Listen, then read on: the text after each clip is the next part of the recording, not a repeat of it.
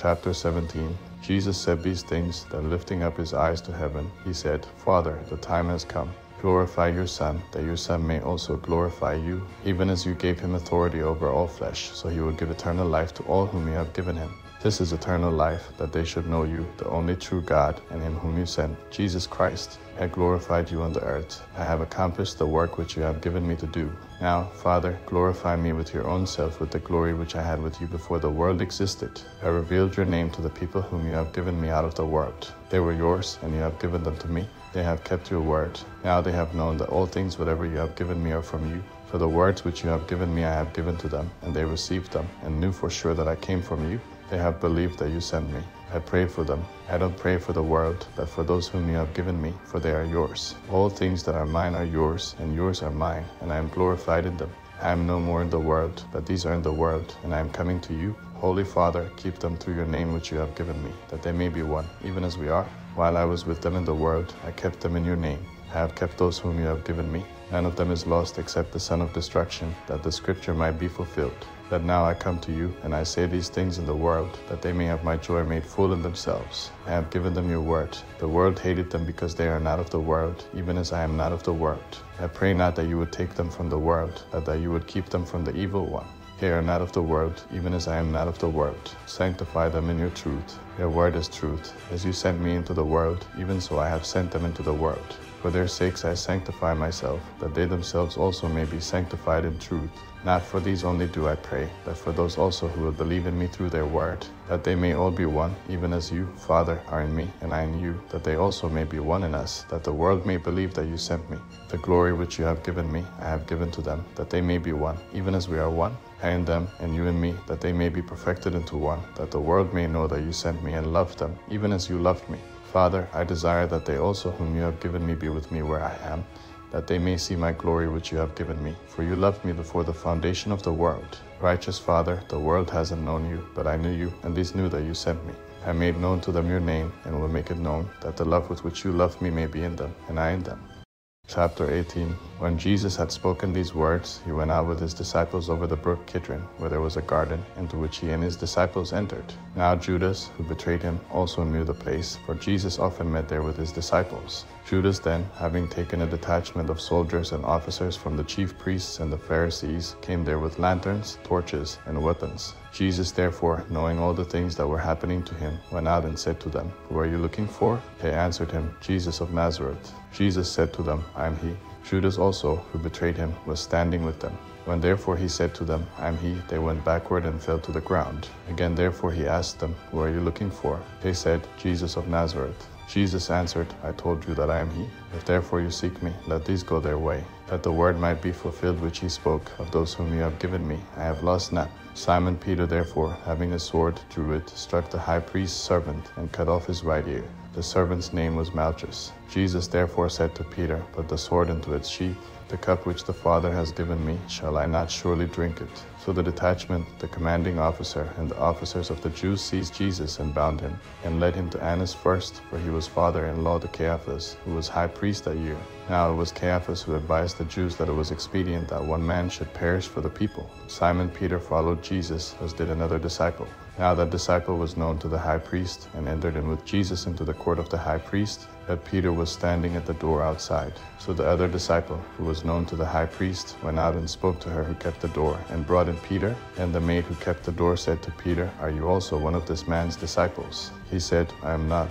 Now the servants and the officers were standing there, having made a fire of coals, for it was cold. They were warming themselves. Peter was with them, standing and warming himself. The high priest therefore asked Jesus about his disciples and about his teaching. Jesus answered him, I spoke openly to the world. I always taught in synagogues and in the temple, where the Jews always meet. I said nothing in secret. Why do you ask me? Ask those who have heard me what I said to them. Behold, they know the things which I said. When he had said this, one of the officers standing by slapped Jesus with his hand, saying, Do you answer the high priest like that? Jesus answered him, If I have spoken evil, testify of the evil. But if well, why do you beat me? Annas sent him bound to Caiaphas, the high priest. Now Simon Peter was standing and warming himself. They said therefore to him, You aren't also one of his disciples, are you? He denied it and said, I am not. One of the servants of the high priest, being a relative of him whose ear Peter had cut off, said, Didn't I see you in the garden with him? Peter therefore denied it again, and immediately the rooster crowed. They led Jesus therefore from Caiaphas into the praetorium. It was early, and they themselves didn't enter into the praetorium, that they might not be defiled, but might eat the Passover. Pilate therefore went out to them and said, What accusation do you bring against this man? They answered him, If this man weren't an evildoer, we wouldn't have delivered him up to you. Pilate therefore said to them, Take him yourselves, and judge him according to your law. Therefore the Jews said to him, It is illegal for us to put anyone to death, that the word of Jesus might be fulfilled, which he spoke, signifying by what kind of death he should die. Pilate therefore entered again into the praetorium, called Jesus, and said to him, Are you the king of the Jews? Jesus answered him, Do you say this by yourself, or did others tell you about me? Pilate answered, I am not a Jew, am I? Your own nation and the chief priests delivered you to me. What have you done? Jesus answered, My kingdom is not of this world. If my kingdom were of this world, then my servants would fight, that I wouldn't be delivered to the Jews. But now my kingdom is not from here. Pilate therefore said to him, Are you a king then? Jesus answered, You say that I am a king. For this reason I have been born, and for this reason I have come into the world, that I should testify to the truth. Everyone who is of the truth listens to my voice. Pilate said to him, What is truth? When he had said this, he went out again to the Jews and said to them, I find no basis for a charge against him, that you have a custom that I should release someone to you at the Passover. Therefore, do you want me to release to you the king of the Jews? Then they all shouted again, saying, Not this man, but Barabbas. Now Barabbas was a robber.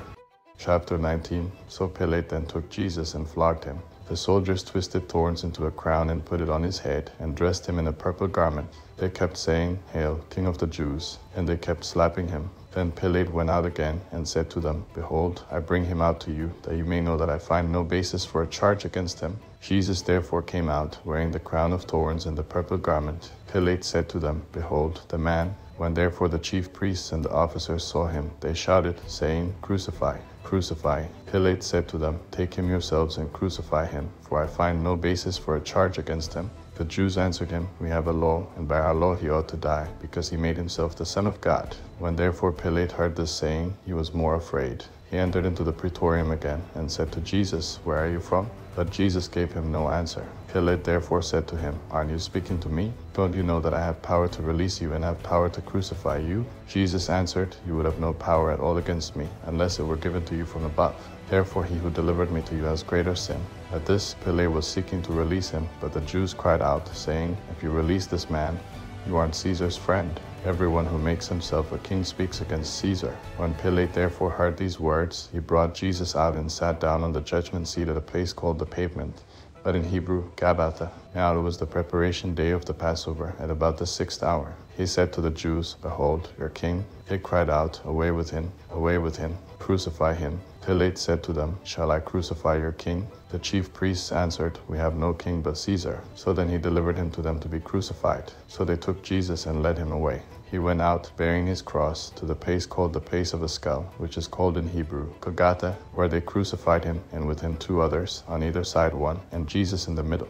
Pilate wrote a title also and put it on the cross. There was written, Jesus of Nazareth, the King of the Jews. Therefore many of the Jews read this title, for the place where Jesus was crucified was near the city and it was written in Hebrew, in Latin, and in Greek. The chief priests of the Jews therefore said to Pilate, Don't write, the king of the Jews, but he said, I am king of the Jews. Pilate answered, What I have written, I have written. Then the soldiers, when they had crucified Jesus, took his garments and made four parts, to every soldier a part, and also the tunic. Now the tunic was without seam, woven from the top throughout. Then they said to one another, Let's not tear it, but cast lots for it to decide whose it will be, that the scripture might be fulfilled, which says, They parted my garments among them.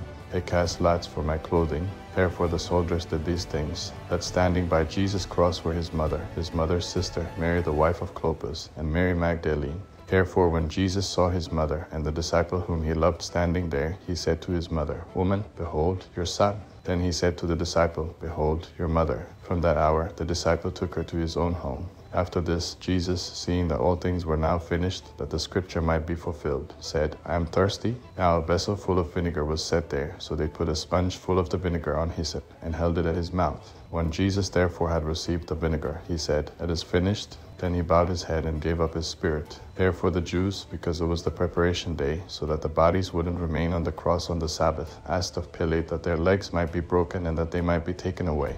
Therefore the soldiers came and broke the legs of the first and of the other who was crucified with him. But when they came to Jesus and saw that he was already dead, They didn't break his legs. However, one of the soldiers pierced his side with a spear, and immediately blood and water came out. He who has seen has testified, and his testimony is true. He knows that he tells the truth, that you may believe. For these things happened that the scripture might be fulfilled. A bone of him will not be broken.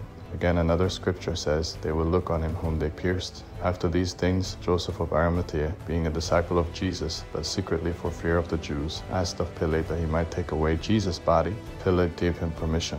He came therefore and took away his body. Nicodemus, who at first came to Jesus by night, also came bringing a mixture of myrrh and aloes, about a hundred Roman pounds. So they took Jesus' body and bound it in linen cloths with the spices, as the custom of the Jews is to bury. Now in the place where he was crucified there was a garden. In the garden was a new tomb in which no man had ever yet been laid. Then, because of the Jews' preparation day, they laid Jesus there